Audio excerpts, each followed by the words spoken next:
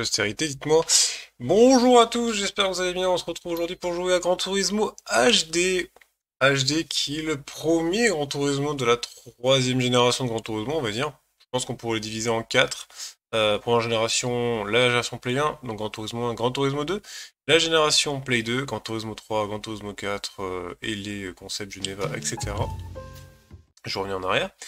Et euh, la génération 3 qui commence sur PlayStation 3 justement, où on avait droit à l'époque à la démo, enfin c'est une petite démo de Gran Turismo HD, donc c'est même pas le prologue, on est encore avant, et euh, qui était disponible en téléchargement à l'époque.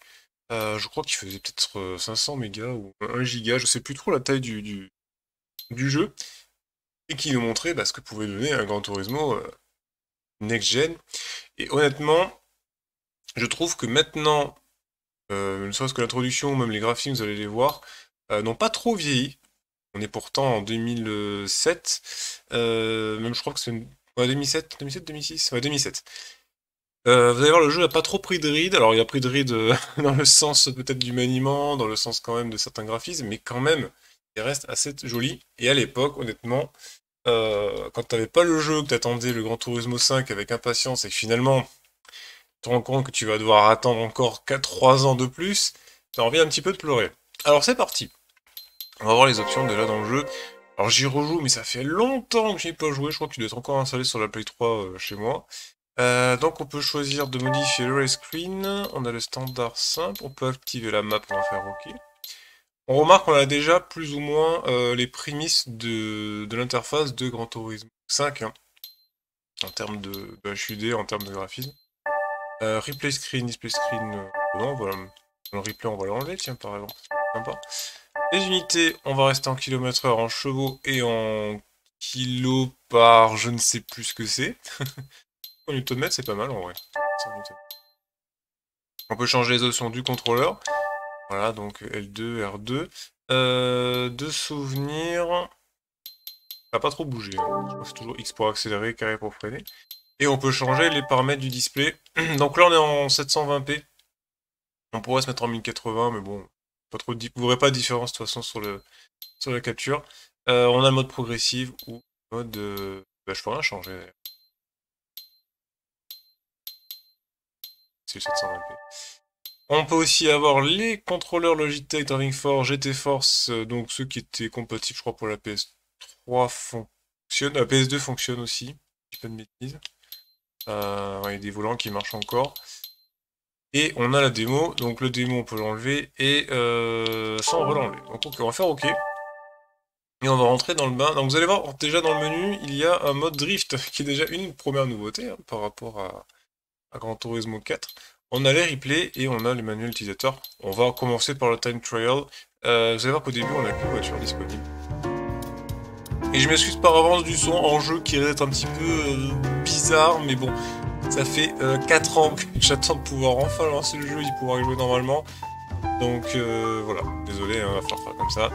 Donc on a, on a 8 voitures, 10 voitures, mais on va pouvoir les débloquer au fur et à mesure. Et au début on commence avec la Suzuki Cappuccino, bah, une petite K-Car type des On a 3 niveaux de couleurs.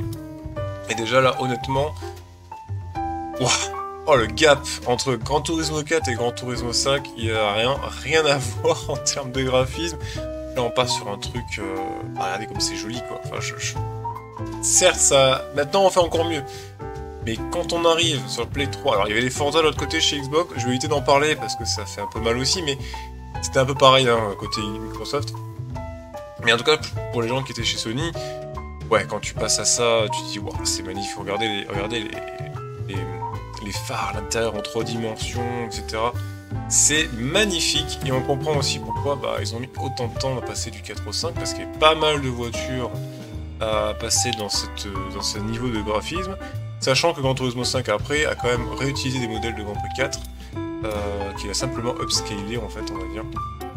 Et vous avez vu on a le, on a le cockpit, enfin le cockpit l'intérieur on peut le voir légèrement mais euh, quand on va par exemple lancer le jeu, vous allez voir qu'on va pas pouvoir avoir cette vue. Ça, c'est un petit peu dommage. En tout cas, pas sur celle-là. Alors, donc on peut changer la transmission automatique manuelle. On peut activer le contrôle stabilité. Je vais baisser le traction control. Je pense que sur une voiture comme ça, il n'y a pas trop besoin de le mettre à fond.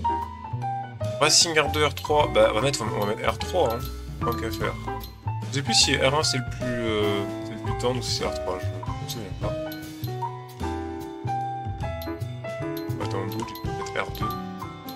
On va laisser par défaut, voir comment le jeu aurait fait par défaut.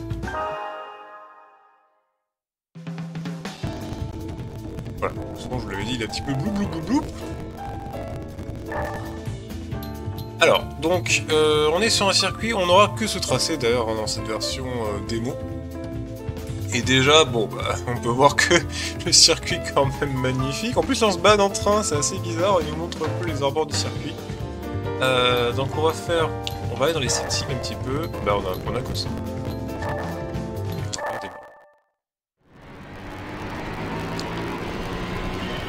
Voilà, donc on est parti, on a, on a les trois vues classiques de Gran Turismo 4, hein, donc la vue embarquée, euh, la vue extérieure, voilà, et la vue, bah, on a que deux vues, pourquoi je dis qu'on a trois vues, on en a que deux, on même pas la vue entre les deux, ça c'est dommage. Donc on est lancé sur le circuit de, euh, alors j'ai oublié comment il s'appelle ce tracé, Eiffel et Garland, je sais pas. Et donc, bah, pour commencer, on va tout de suite parler bah, de ce qui choque le plus, évidemment, c'est les animations autour du circuit, c'est la précision des textures. Là, on est en 720p, mais euh, vous pouvez voir que le sol est quand même très très bien rendu.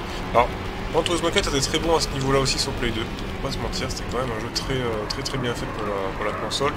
Donc, Gran Turismo 4 n'empêche et reste joli, hein. mais là, on a quand même atteint un niveau de détail qui est bien plus, grand. Et surtout, regardez autour, on a les spectateurs en trois dimensions. On avait aussi dans le cadre, effectivement, mais ils sont animés un peu plus. On a les drapeaux qui flottent. On a beaucoup plus de densité d'affichage de... en termes de personnes. Et là, bah, on est aux commandes d'une cappuccino. Donc je vous mets un petit peu la vue extérieure. Euh, on peut changer la vue, enfin on peut mettre la vue arrière, comme d'habitude. Et vous allez voir quelques effets sympas. Les effets de lumière, là on va rentrer dans le tunnel. Je crois que si on sort du tunnel, on va avoir l'effet un petit peu de voile blanc. Oui, déjà là, on, on le voit. Hein. Regardez la lumière euh, du soleil. Quand on va sortir ici, un petit voile blanc, tac, c'est bon. Voilà. Et euh, voilà, donc quelques petits effets euh, rajoutés par rapport à, à Gran Turismo 4. La Gran Turismo 4, la comparaison avec Gran Turismo 4 va s'arrêter assez vite parce que bon, ça une démo, il n'y a pas non plus 30 millions de trucs. Mais je peux vous dire que, franchement, à l'époque, cette démo, mais on l'avait rincé, je dis on, parce que beaucoup de gens l'ont fait, il n'y a pas que moi non plus. Et on a fait un petit tour en 1.35, le but c'est de faire un tour en 2 minutes. Donc là on a fait un tour en 1.38. Donc on a, on a fait un lap 2. Je crois que si je fais start et que je fais quitter... Voilà. J'ai réussi donc un tour en 1.38 et du coup j'ai euh, j'ai battu le temps, le temps imparti. Regardez quand même le nombre de gens, les gens qui se déplacent sur le circuit. Alors je pense qu'ils doivent... Regardez, ils se baladent sur le circuit hein, carrément derrière. Alors évidemment quand on va rouler, ils vont pas se mettre en plein milieu. Mais, euh, mais franchement, regardez comme ça reste beau. Alors c'est très très net, très propre, du coup ça fait pas forcément réaliste dans le sens où bah, c'est trop propre. Voilà, alors je sais qu'on est dans la montagne, donc en général c'est joli. Mais euh, voilà, c'est The Hager No... Not Point, attention. En plus on a une arrêt, un arrêt de train qui est juste devant le, le premier virage. Et donc du coup, on a débloqué le Mazda Uno Roadster de 89 qu'on va tester tout de suite. Alors ce jeu était disponible que sur le store, hein. c'est-à-dire que si vous n'aviez pas internet, ben en gros vous pouvez pas le je crois que vous pouviez même pas le récupérer en, dématérialisé, euh, même si c'est qu'une démo. C'était un petit peu dommage. On va lancer le Tentual, après je vous montrerai le mode drift, ne vous inquiétez pas. On va lancer le roster. Euh, Joli en rouge. je m'arrête un petit peu sur les modèles parce qu'il n'y a pas beaucoup à vous présenter, donc je montre un peu ce que c'est. Les effets de lumière aussi, les réflexions sont vraiment super belles. Euh, voilà, donc on attendait vraiment, vraiment le, Turismo 5, euh, auquel on jouera, je l'espère, bientôt. Ça fait longtemps que j'espère pouvoir y jouer. Enfin, en tout cas, moi je l'ai, le jeu, c'est pas le problème, mais pour pouvoir le montrer en direct, euh, bah malheureusement, il va falloir que je passe par la case émue, et vous le savez, c'est pas forcément trop au pour le Donc, c'est un peu mat, un peu. Bon, on peut pas la prendre en gris cette fois-ci, on va la prendre en rouge. Allez, pourquoi pas. Et on va faire, on va regarder le traction control à 4. Pour l'instant, j'ai pas plus de réglages, mais potentiellement, je vais en avoir plus suivant les modèles. Bon, donc un petit bug graphique, vous inquiétez pas, c'est toujours pareil. Donc là, par contre, je n'ai pas, toujours pas de vue intérieure. Je sais plus si on en avait une vue intérieure. Décidément, je, je m'en souviens plus trop. Donc là, ça va aller un peu plus vite avec le cappuccino. va essayer de faire un tour, euh, correct. Donc je dois faire un tour en 1.45. C'est quand même 15 secondes plus rapide que le temps d'avant. Mais j'avais déjà réussi à Cappuccino à faire une 32 ou 35, donc je pense qu'on va y arriver. Alors chose aussi, euh, dont je n'ai pas parlé, c'est que le maniement a quand même évolué entre, entre les deux versions, entre 24 et entre 25. Là, le poids a beaucoup plus d'influence, le frein, le fait qu'on freine en descente aussi. Euh, c'est beaucoup plus difficile de freiner sans bloquer, sans, sans attirer tout droit. Et on a aussi, euh, je trouve, le travail des, pneus, dans le sens où quand on, est, on tourne trop, eh ben, on se retrouve à avoir une voiture qui s'écrase sur le pneu extérieur. Et du coup, on perd énormément de vitesse. Donc il faut commencer à apprendre à être très souple dans, le, dans, la, conduite. Beaucoup plus que sur un Gran Turismo 4 qui était déjà un peu plus précis par rapport au 3. Donc là on est avec des petites voitures, donc ça va à peu près, hein, ça se passe pas trop mal. Mais quand on a des modèles qui sont beaucoup plus euh, rapides, là il, commence, faut vraiment commencer à faire attention. On sur le côté avec la lumière. J'aime bien ce passage, hein, je, je trouve plutôt. Alors là on a une version qui est pas très longue hein, du, circuit. Je crois qu'il y a une version qui est un peu plus longue. Vous avoue, j'ai plus trop de souvenirs, ça fait longtemps, je le répète. Euh, voilà, moi je vais absolument présenter cette version de jeu parce que bah, c'est dans la continuité de la série Gran Turismo, donc euh, beaucoup de gens sont passés par là avant d'entamer le 5. Alors il y a le prologue évidemment, hein, le 5. Euh, je, non, je fais bêtises, il y a un prologue. je sais même plus. Si, si, il y avait un prologue au 5. Pas de bêtises. Euh, faut d'ailleurs qu'on l'essaie un jour. Donc j'ai réussi un tour en U32. Là, je touche rien. Tout seul. Ça accélère tout seul, pardon. On va, on va quitter. Et je vais essayer de vous montrer, bah, du coup, la prochaine auto que l'on débloque. De toute façon, je peux vous spoiler, hein, puisque c'est quand même un truc, c'est qu'une démo. Il y a un débloqué une Honda Integra Type R de 2004. Et après, je vais de vous montrer le mode drift. Après celle-là. Donc, la petite Integra c'est un peu buggy. Bon, ne inquiétez pas, ça c'est normal. Mais dans le jeu, on va dire pas émulé, aucun problème avec ça. Euh, perle. Ah, en noir, elle est classe aussi. On va la mettre, on va la prendre en bleu, tiens. Le perle, elle est, cool. Et ce qui est intéressant avec euh, bah, ce mode de jeu, c'est qu'on peut vraiment comparer euh, les autos entre elles en termes de temps. Donc là, il faut que je fasse une 42. Pour l'instant, ça devrait être largement faisable.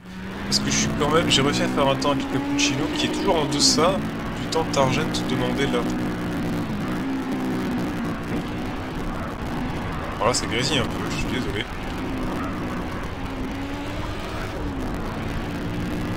Et je me demande si le son du jeu est pas un peu fort, mais bon, pas grave.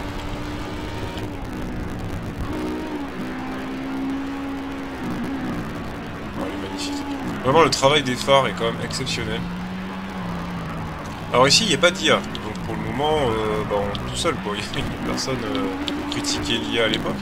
Mais il y avait une critique qui avait été formulée, en tout cas... Euh, pour le 5 est sorti. Je crois même que c'était pareil déjà pour le, bah, le prologue. Mais bizarrement, je sais pas pourquoi je, le sens pas le prologue. J'ai plus souvenir qu'il existait un prologue en fait. Pour la version 5. Euh, donc vous allez m'arrêter tout de suite dans les commentaires si je dis une bêtise. Et dans tous les cas, je sais qu'une critique avait déjà été faite à la sortie du 5. C'est que les IA n'avaient pas trop bougé. C'est quand même euh, assez naze, assez bête. Alors, tu fais un pass version. Je vais me taire un peu, même si le son est pas ouf, pour faire écouter un petit peu l'auto.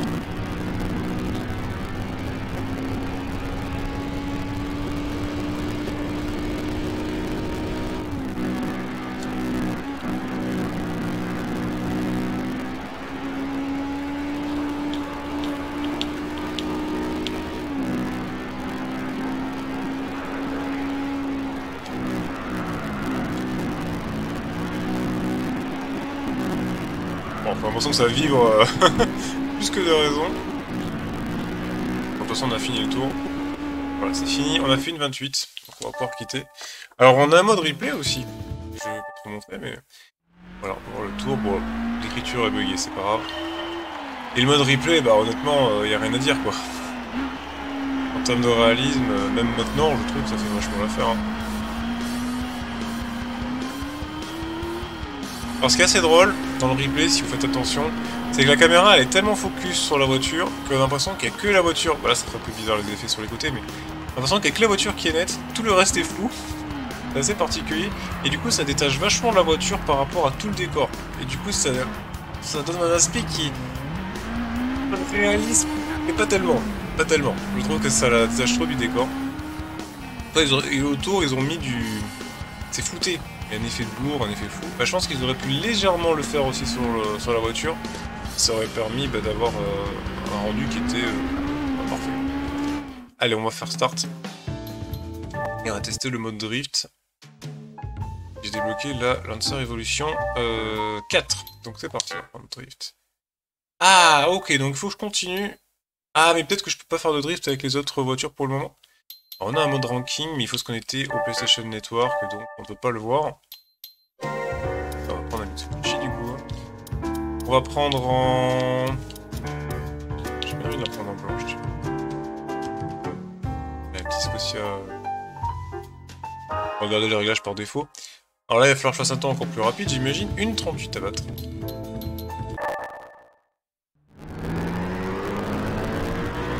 Pas de intérieur. Alors pour la petite anecdote, euh, fait partie des voitures que j'aime le plus. Hein. Si vous connaissez depuis le temps, vous le savez, avec les galants, tout ça et GTO. Euh, mais surtout cette version de la Lancer Evolution 4, je préfère par exemple le 5 ou 6. Euh, mais c'est pas le débat. Euh, mais je me souviens à l'époque de Gran Turismo 5, qui m'avait vraiment. je trouvais ça extraordinaire. Pas pour l'époque, évidemment, maintenant, il n'y a plus rien, a plus rien d'extraordinaire. C'est on pouvait mettre dans le 5 les vues embarquées. On avait les cockpits, etc. On avait les cockpits. Et je me souviens, je crois que c'est Tsukuba, euh, faire un petit tour avec la, bah, Lancer justement et euh, carrément accélérer et mettre la vue de derrière comme ça. Mais sauf que la vue de derrière quand on est en caméra embarquée, eh ben, on, a une, on voit les sièges arrière en fait. Et le frombissement du moteur surtout. Quel bonheur Oh là là Et on s'y croit. Enfin moi maintenant c'était une immersion et c'était euh, vraiment incroyable. Et je tournais juste pour, juste pour entendre le moteur accélérer après la sortie de l'épingle. C'était vraiment, vraiment prenant. Alors maintenant ça fait sourire, hein, parce que faire de la VR, on peut se autour de, la voiture limite, etc. Et pour l'époque, oh là là, quel bonheur.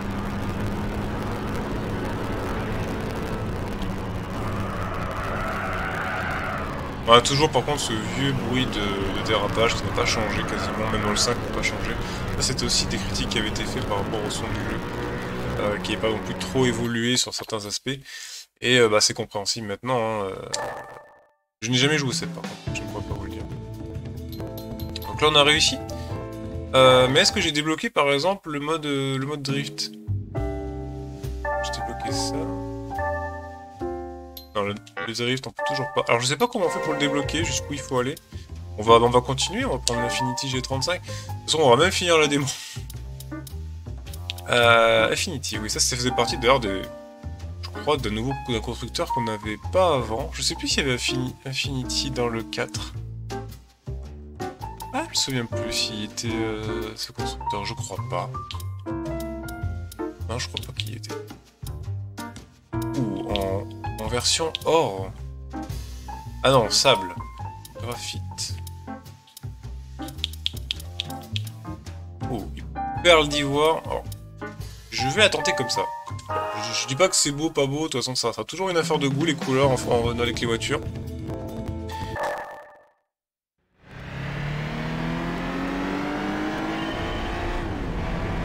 Vous remarquerez quand même que chaque voiture a un son différent.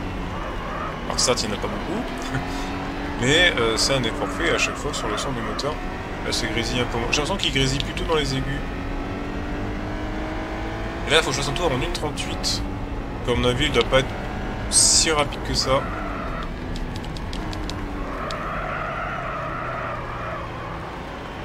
Je pense que j'aurais presque dû mettre une boîte, euh, une boîte manuelle parce que je suis pas bon au niveau des rapports. Vous savez quand je suis en première et que je tourne très fort, la voiture elle s'écrase sur l'avant. Regardez quand je freine aussi, on a la caméra qui plonge et ça c'est pas mal fait je trouve aussi, surtout quand on a un vue embarqué comme ça. Et ça qu'on sent beaucoup euh, avec cette caméra, par contre ici on le ressent pas évidemment parce que la caméra ne bouge pas. Et par contre la caméra est restée, euh, il me semble, un peu comme celle de Gran Turismo 4, c'est-à-dire qu'elle est, euh, elle suit la voiture comme si elle était limite branchée dessus. Enfin je sais pas comment on va expliquer, mais il y a une petite différence entre le 3 et le 4. C'est-à-dire que par exemple dans le, dans le 3, quand vous prenez un virage, donc la voiture tournait, etc. La caméra avait tendance à rester fixe, ce qui fait que vous voyez euh, la voiture légèrement sur le côté. Là, quand on tourne, la caméra suit la voiture, donc on ne voit jamais le côté de la voiture.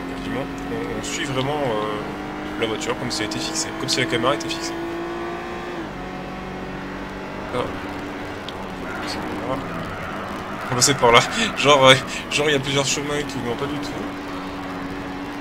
C'est plus dans le sens, on va essayer de prendre un peu l'extérieur. Et là, du coup, bah, pour l'instant, bah, c'est facile. Une 24, on a réussi.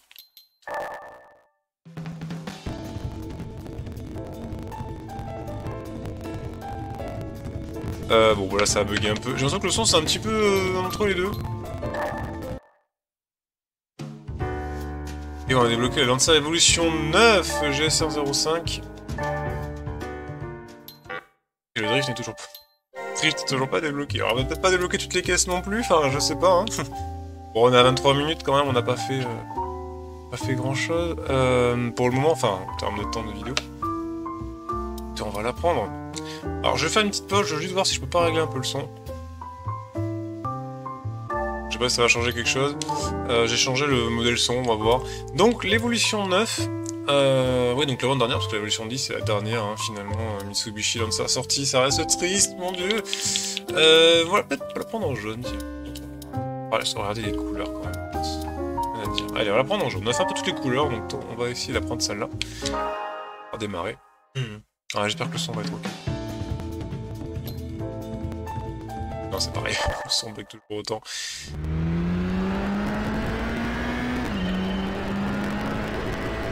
Oui, là on a le, cockpit, enfin l'intérieur qui est fait. Hein. Euh, il est différent à chaque fois entre les voitures, c'est juste pour pas rentrer dedans.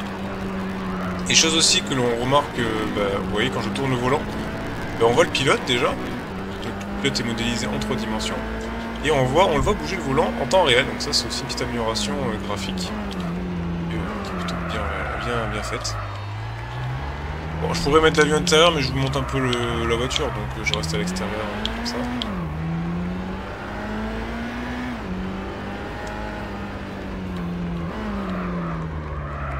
Et on peut voir que les rétroviseurs fonctionnent aussi, on a le, reflet dans les rétroviseurs.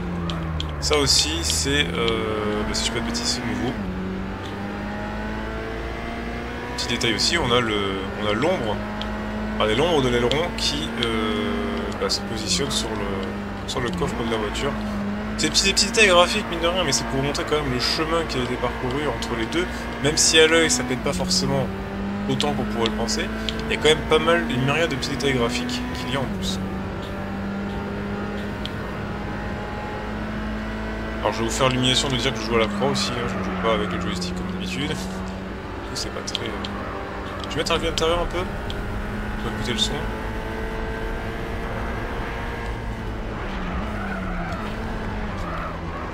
ça va. elles, sont, elles sont un peu moins, un peu moins rock que la 4, j'ai l'impression. Un peu plus... Euh, si un petit silencieux. Et eh ben on a réussi. Une 35 à faire, une 22. On va sortir. Et on va... Euh, non, pas le replay. On. Et on a débloqué une Lotus Elise Allez, c'est parti, on enchaîne. Je vais à chaque fois vérifier dans le time trial. Toujours pas, hein. pour le moment, on pas envie. Euh, 192 chevaux, donc celle-là, elle va être beaucoup plus légère. Hein. C'est souvent été le, principal avantage des Lotus, hein, comme les Caterham, c'était très très léger. Ah, elle va faire du classique, on va la prendre en bleu, mais... J'en ai plus les couleurs. Aubergine ça rend pas trop l'aubergine, je trouve, sur ça là tiens. Un peu comme le Bordeaux. Ça reste mes goûts, mais je trouve que ça fit pas très bien avec la...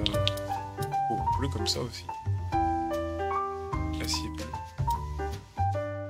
On a vraiment les tons métalliques, euh, enfin on sent vraiment les types de peintures. Les peintures classiques, métalliques, perlées, etc. On a vraiment euh, une différence.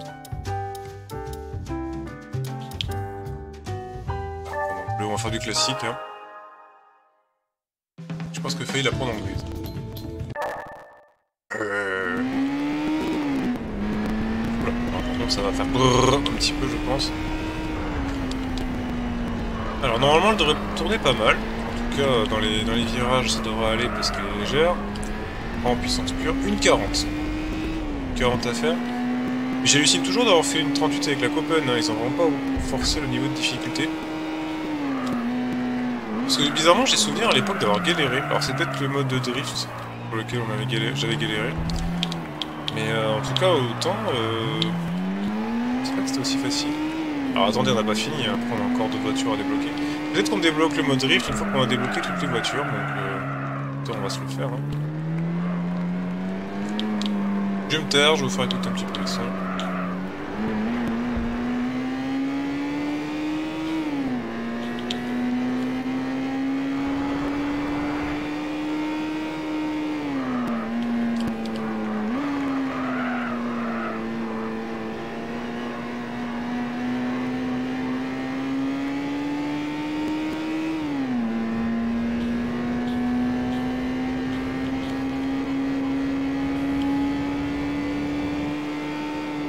Petit effet évidemment de, tunnel, hein, au niveau du son.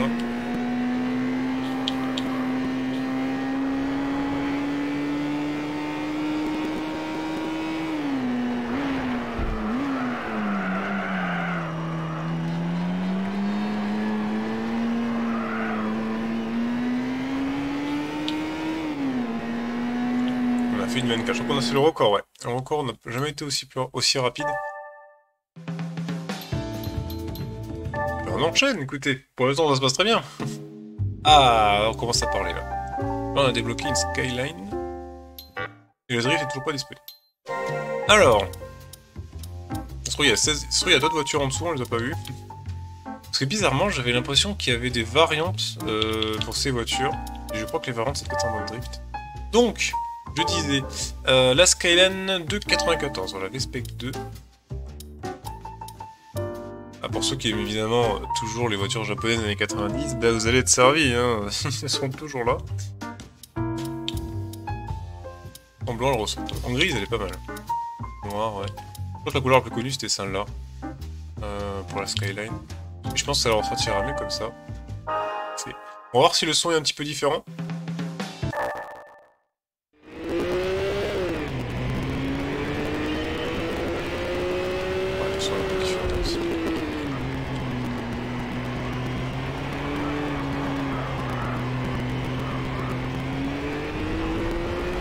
pour voir. Le jump ici. Et vous avez dans le saut, si vous si on était dans les anciens Gran Turismo, j'aurais pu accélérer bêtement dans le vide. Le moteur aurait fait le même son, voire limite il aurait augmenté en, en régime. Là pendant le saut, euh, j'avais beau accélérer, il se passait rien, j'avais plus de plus de régime que dalle. C'est assez étonnant. Je sais même pas vous dire si c'est réaliste ou pas,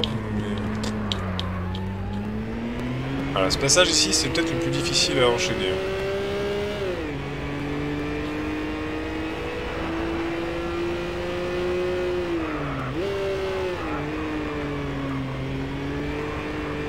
Alors à savoir, bon ça c'est du... c'est du perso, hein, voilà, bon. Évidemment, toujours une petite touche... Euh, touche de nostalgie derrière, du coup en parlant de l'époque où on jouait à ce jeu. Euh, je n'avais pas d'écran encore 720p, euh, enfin oui millions 720p, j'ai l'écran cathodique quoi. Et du coup ce que j'utilisais c'était un convertisseur pour, pour afficher le pour afficher la, console sur un écran de PC qui était en 1020 en 1280 je crois pas en 1024 mais c'était quand même signe analogique donc en fait c'était un peu bizarre c'était plus beau que du, RCA donc jaune rouge blanc mais c'était moins beau que de la vraie HD donc c'était un entre deux et déjà le jeu je le trouvais magnifique en fait alors qu'on n'avait pas rendu comme on a là sur un écran classique. Allez, on a fait le tour, on a fait une 22, c'est encore un nouveau record, magnifique. Par contre, il fallait faire une 33. Hein. C'était un peu plus, euh, plus rapide. Sortir. Et je crois qu'on a débloqué le dernier modèle. Euh, non, l'avant-dernier. Je crois qu'on a... Non, toujours pas. Ouais, il faudra vraiment débloquer toutes les voitures plus, elle est mythique, celle-là. Oh là là. Alors, c'est pas celle qui a gagné le, championnat des rallyes. Enfin, cette variante a été en fin de championnat des rallyes de 1994. Et là, c'est la version 95. Et d'ailleurs, je crois que c'est la version 95 qui a été euh, bah, disqualifiée. De de bêtises en WRC à l'époque. Et pour moi, c'est la plus belle. Maintenant, euh, j'aime pas trop la, version 94, début 94, enfin la version avant euh, l'amortillage. Un niveau son aussi, là. Une 33. C'est bien. Oui, j'ai accéléré à fond, mais ça n'accélérait plus.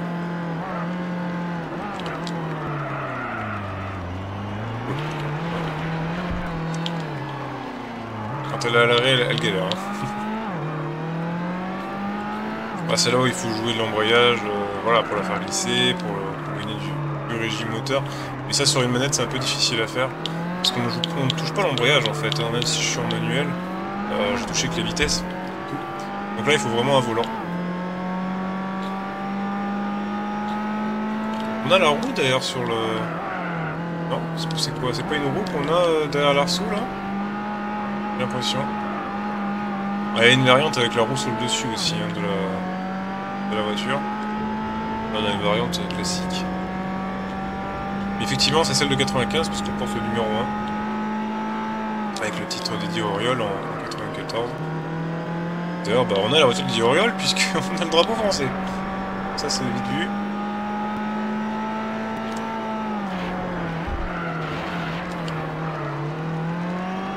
Ça devrait passer dans Jungle 33.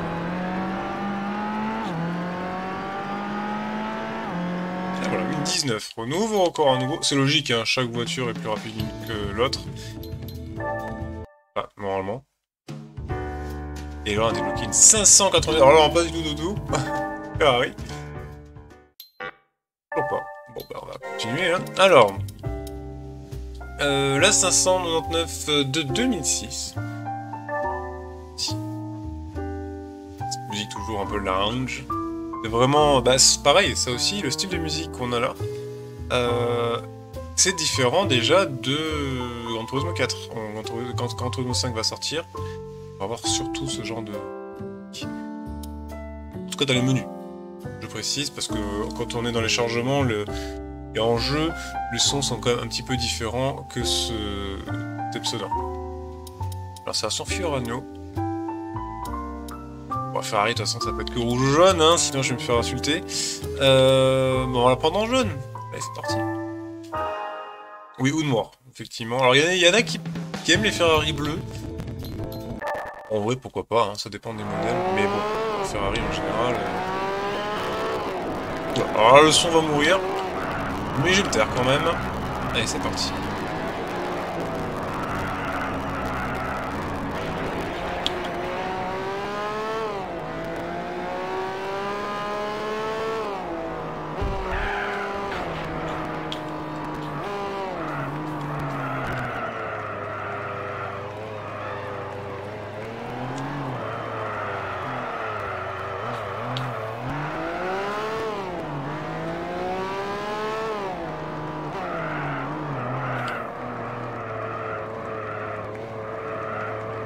On est d'accord qu'elle tourne pas bien.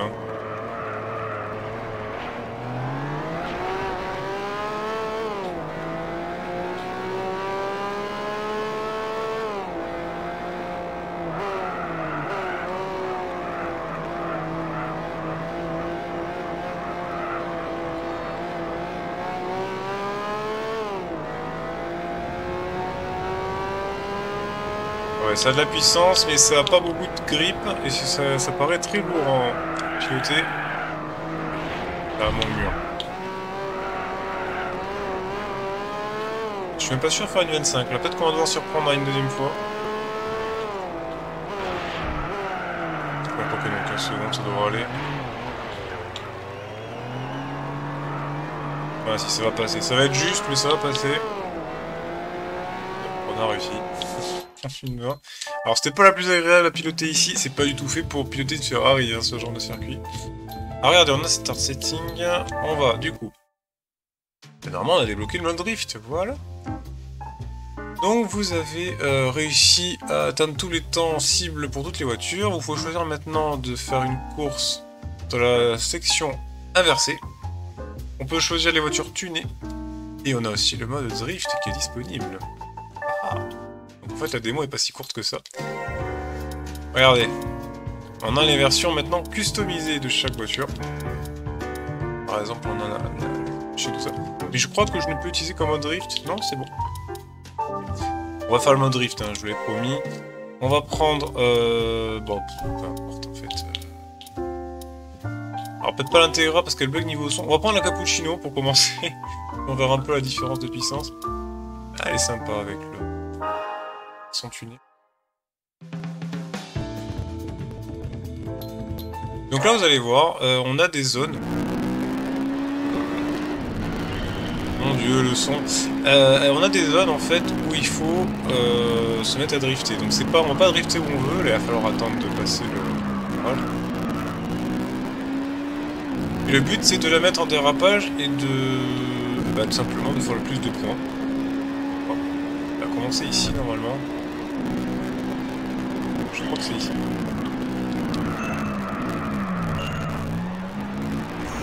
Voilà, je l'ai coupé.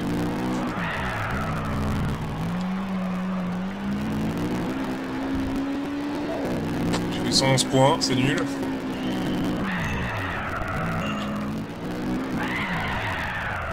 Bah, le problème c'est quand on fait le tour, quand on se retourne ça ne marche pas. Donc c'est toujours triomphe, faut marche arrière d'ailleurs.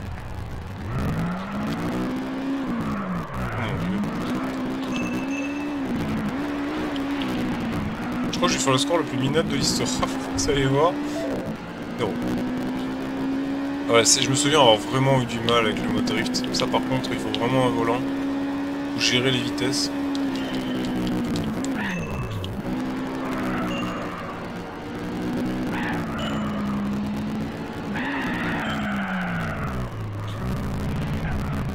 Regardez-moi ça quoi. C'est scandaleux. J'ai fait 609 points mais euh, c'était le dérapage le plus mauvais de l'histoire. Alors après, après la cappuccino est pas rapide aussi, donc ça aide pas à faire du drift. Hein. C'est pas trop fait pour ça. on fait un peu.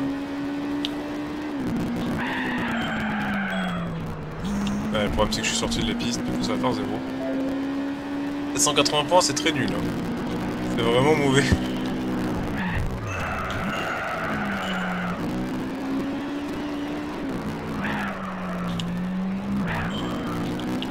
Ouais, j'ai fait, j'ai fait un petit peu de points. Donc on a fait 1472 points. Bon, on va quitter. On va essayer avec une autre, euh, une autre voiture. Mon dieu, ce son à chaque fois, j'en veux plus. Euh, on va essayer par exemple avec... Enfin, pour drifter, en vrai, euh, par rapport à les deux Mitsubishi, je pense qu'on va pouvoir utiliser. Ça là, moi j'ai des doutes. Bon, bah, on va faire avec ça. Hein. Parce qu'on de m'excuser, quoi. Ah bah c'est sûr qu'après si je mets l'ABS on va pas aller très loin.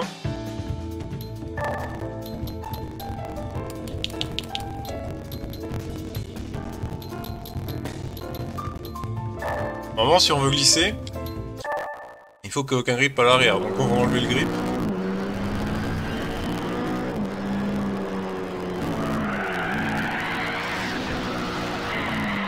Alors là j'étais peut-être un petit peu trop euh, optimiste quand même.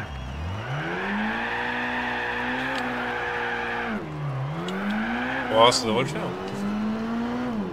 Ça devrait le faire. Allez, on va arriver au premier virage et on va tester ça. Je pense que ça va être un scandale, mais tant pis.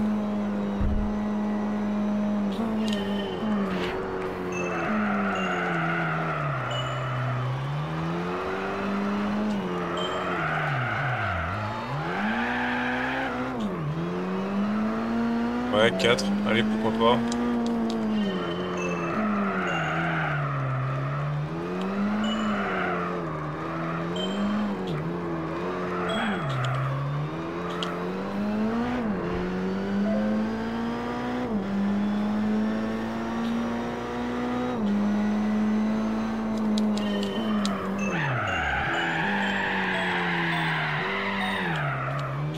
C'était pas mal Yes, 1658 points. Ah, c'était correct, c'était pas mal, fait un bon drift.